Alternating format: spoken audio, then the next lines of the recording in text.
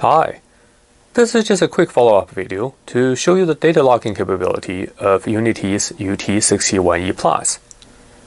I had done a separate review of the meter earlier, and uh, if you have not watched that video, please be sure to check it out. But if you recall, in that video I was not able to get the supplied USB dongle working with my Linux PC.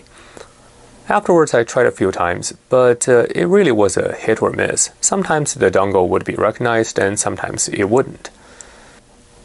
It may just be the compatibility of the CP2110 USB to UART bridge driver on Linux. But more importantly, perhaps, I was not able to get the meter to work with sigrok, which is a real bummer as I really like that open source utility quite a bit although I would have thought the protocol would be similar, if not the same, as the outgoing UT61E. Anyway, the meter does work well on Windows with the supplied software, so let's take a quick look. Here I have launched UNI-T's companion data logging software, and as you can see that once it's uh, connected, it will start logging continuously until it is stopped. Now, one key difference between the UT61E Plus and the previous 61E is that the data communication is actually bidirectional here. So as you can see here, I can use the buttons here to control what is being displayed on the meter itself.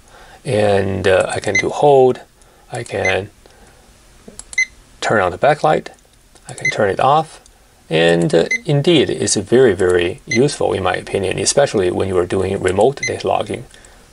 Of course, you can always change the sampling rate. Right now, it is set as uh, 3 times per second. Now, the 3 times per second, in my opinion, is the maximum you want to set it because the update rate on the meter itself is actually just about 3 times a second. But of course, you can also slow it down. Let's say we wanted to set it to 1 time per second, you certainly can. This is useful when you are logging data for a long period of time. Another functionality you want to pay attention is that we also have the capability to skip repeated data readings.